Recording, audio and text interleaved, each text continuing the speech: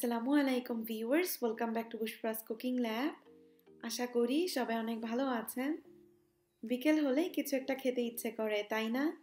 কেমন হয় যদি খুব মজার অ্যান্ড আনকমন একটি ঝটপটে স্ন্যাক্স বানিয়ে সবার সাথে আড্ডা দিতে দিতে খাওয়া যায়।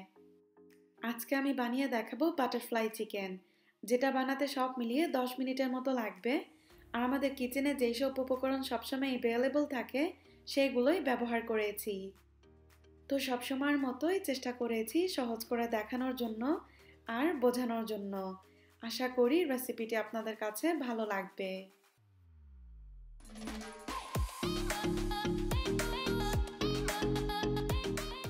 এখানে আমি অ্যারাউন্ড এক কাপ হাড় ছাড়া চিকেন এরকম কিউবস করে কেটে নিয়েছি।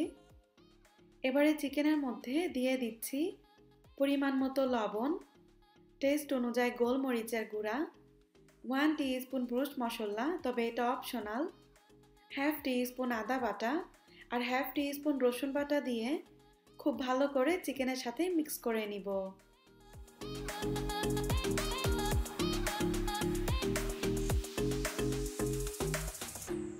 দেন এখানে আরেকটি বাটিতে একটি মিডিয়াম সাইজের আলু এরকম করে কেটে নিয়েছি।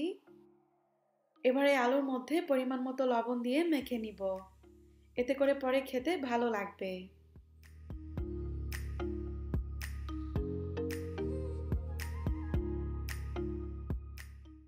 এবার এখানে আমি কাঠের কাঠি নিয়েছি আই মিন সোয়েকার্স আমি ছোট সাইজের করে কেটে নিয়েছি, এতে করে বানাতে ইজি হবে।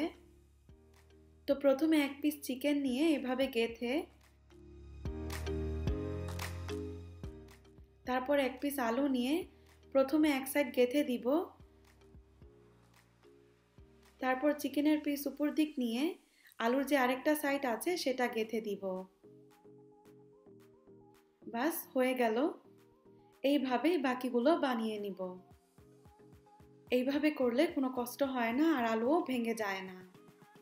আসলে এটা বোঝানোর চেয়ে দেখে বোঝাটা বেশি ইজি তো এজন্য আপনারা একটু ফলো করুন কীভাবে করছি।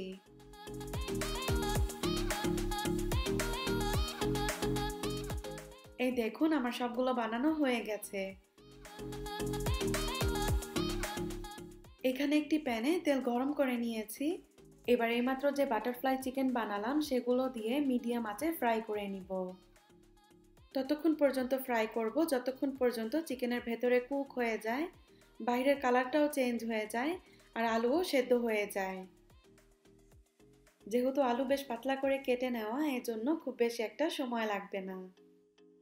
সবচেয়ে ভালো হয় যদি ডুবো তেলে ফ্রাই করতে পারেন।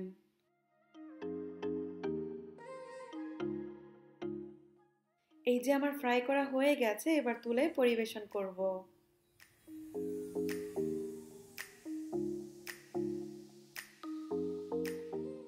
দেখুন, দেখতে কত আনকমন লাগছে।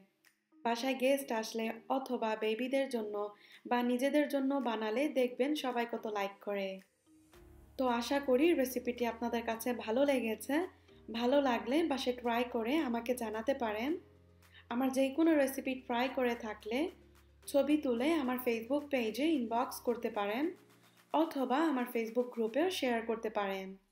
আমার গ্রুপের লিঙ্কটি ডিসক্রিপশন বক্সে দিয়ে দিব।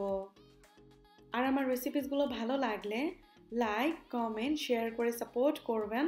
সেই সাথে আমার ইউটিউব চ্যানেলটি সাবস্ক্রাইব করবেন। আমাকে ইনস্টাগ্রামে আর ফেসবুকেও ফলো করবেন thank you so much for watching